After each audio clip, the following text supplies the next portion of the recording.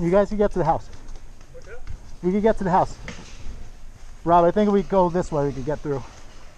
Yeah, but there's I think I got here and there's another one I got both of you. up on the hill. Yeah, there's a kid with a blue mask and one with a white shirt. Oh, okay. I'm gonna, you want to peek that corner? I'll see if I can get through. What?